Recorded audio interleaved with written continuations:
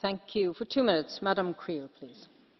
Frau präsidentin liebe kolleginnen und kollegen! Äh, mehr als zwei jahre nach offiziellem beginn der neuen förderperiode der kohäsionspolitik äh, diskutieren wir heute äh, über die neuen instrumente und wollen sie bewerten und gleichzeitig eigentlich schon eine debatte führen über die zukunft der kohäsionspolitik. deswegen ist eine solche gemeinsame aussprache denke ich auch ganz wichtig nicht nur für uns sondern auch für die regionen und für die menschen die davon profitieren können dass es europäische kohäsionspolitik gibt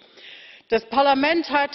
sehr stark unterstützt die einführung dieser neuen instrumente aber auch äh, unterstützt dass die finanzinstrumente gepusht werden. und ich denke es ist äh, gerade für den städtischen raum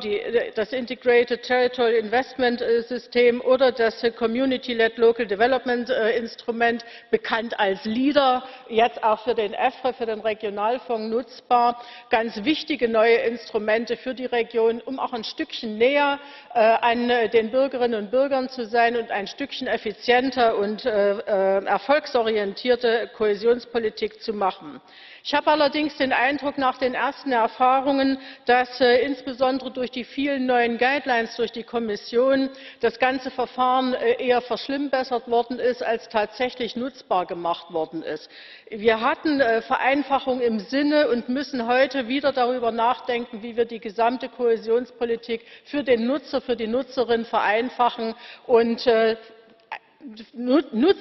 effizient nutzbarer machen zu können ich denke ein äh, punkt dabei wird sein dass wir stärker schulungen durchführen müssen für die menschen die das nutzen aber wir müssen auch wirklich äh, ergebnisse von der taskforce erwarten äh, die vereinfachungen hoffentlich noch für diese förderperiode vorschlagen wird im sinne dessen dass wir wirklich eine starke kohäsionspolitik auch nach zweitausendzwanzig brauchen. danke schön!